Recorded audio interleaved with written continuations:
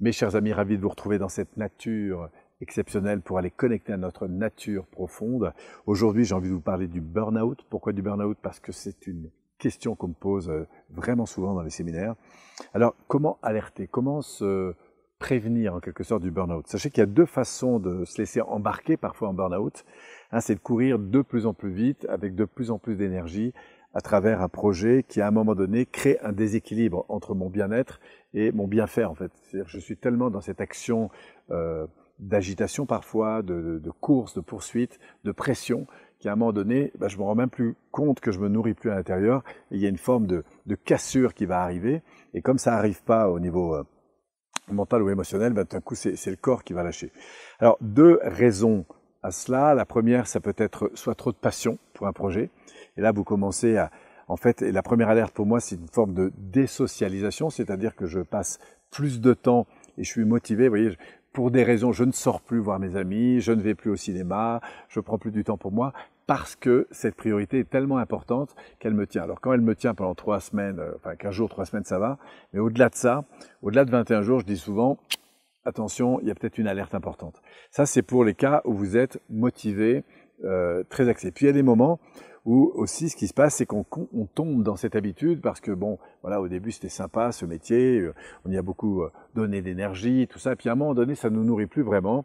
Et puis, du coup, on est un peu dans cette forme de confort au début, voire de passivité, où on trouve les choses de plus en plus lourdes, et on ne se rend pas compte qu'on fait les choses parce qu'on nous les demande à l'extérieur. Et donc, on est toujours en train de répondre, au fond, à l'environnement, et c'est là où on retrouve, eh bien, du coup, le même principe, c'est-à-dire qu'il y a un déséquilibre important, il y a une tension qui va se créer, entre une aspiration extérieure qui me demande d'agir et puis moi à l'intérieur qui essaie de suivre un peu la caravane. Et à un moment donné, ben, la tension est tellement forte que ça lâche, ça casse. Et là, pour le coup, tout va s'effondrer. Donc, encore une fois, pour relever cette dimension, première chose, hein, c'est de sentir cet équilibre entre le bien-être dans lequel vous êtes et la course dans laquelle vous êtes.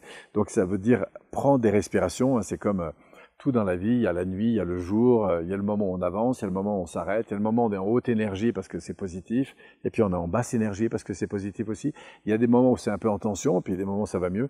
Et je pense que c'est très important de préserver cet équilibre tel une respiration, vous voyez. Et donc, voilà, c'est ce sur quoi j'attire votre attention, de relever en fait ces pertes d'énergie, parfois ces coques dans le bateau qui font qu'on passe plus de temps à, si vous voulez, à vider la coque et, à mettre l'eau à l'extérieur plutôt qu'à avancer, parce qu'il y a ces zones de tension qui existent entre cette déséquilibre, enfin ce déséquilibre entre l'avenir, l'extérieur en fait, qui, m'attire dans une chose, voilà, qui, qui, ne prend plus en compte mes besoins intérieurs.